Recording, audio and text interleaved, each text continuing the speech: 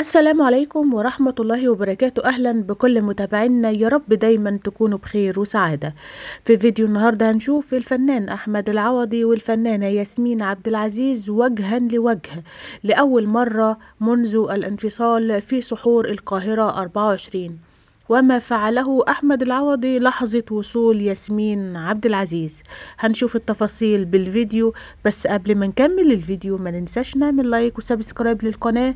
ضروري جدا علشان كل الجديد يوصل لنا. شهد سحور القاهرة 24 المقام في قلعة صلاح الدين الأيوبي بمحافظة القاهرة حضور عدد كبير من نجوم الوسط الفني والذين كان محمود المملوك رئيس تحرير القاهرة 24 في استقبالهم فور وصولهم.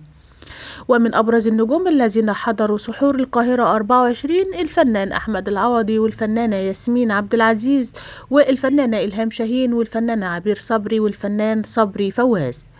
كما شارك في حضور سحور القاهرة 24 السنوي كل من المخرج محمد سامي والمخرج بيتر ميمي والمخرج خالد يوسف والفنانة ليلى زاهر وخطيبها الفنان هشام جمال والفنان وليد فواز والفنان محمد أنور.